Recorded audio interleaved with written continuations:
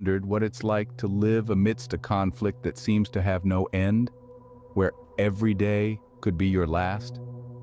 This is the reality for many civilians caught in the crossfire of the Israeli-Palestinian conflict, a conflict that has its roots as far back as the late 19th century, but whose modern manifestation began with the establishment of Israel in 1948 and the subsequent Arab-Israeli War. As we trace the trajectory of this conflict through the years, we see a recurring cycle of violence. Wars, uprisings, and clashes from the Six-Day War in 1967 to the First Intifada in 1987, the Second Intifada in 2000, and multiple military operations and conflicts in Gaza. Each of these events ratcheting up the tension, and each leaving in their wake a tragic trail of innocent lives lost. Men, women, children, their lives forever altered or prematurely ended by a conflict they did not create. Their homes destroyed, their families torn apart, their futures uncertain, and yet their stories often remain untold, their faces unseen. As we delve into this topic, let us remember that behind every statistic is a human face, a story cut short and a family torn apart.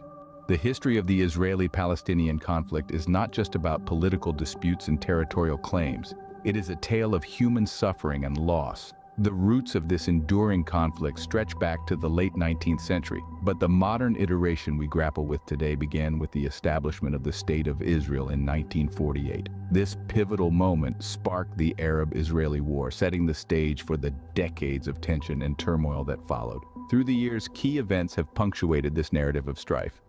The Six-Day War in 1967, the First Intifada in 1987, the Second Intifada in 2000, numerous military operations in Gaza. Each of these chapters has been marked by a tragic commonality, the loss of civilian lives. This tragedy is not a byproduct of random chance or incidental misfortune. It's a consequence of displacement, of political decisions made without regard for the human cost.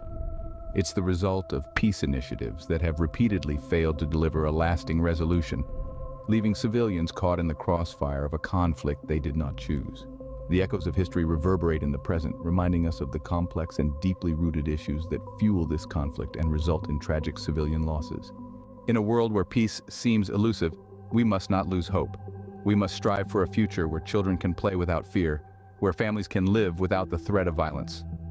The Israeli-Palestinian conflict, a complex tapestry of history, politics, and deep-seated emotion, has seen the failure of multiple peace initiatives and negotiations. Yet these setbacks should not deter us from our quest for a peaceful resolution. The path to peace is fraught with challenges. It demands a comprehensive, fair, and sustainable solution that addresses all aspects of the conflict. It calls for the cessation of violence, the recognition of rights, and the establishment of justice.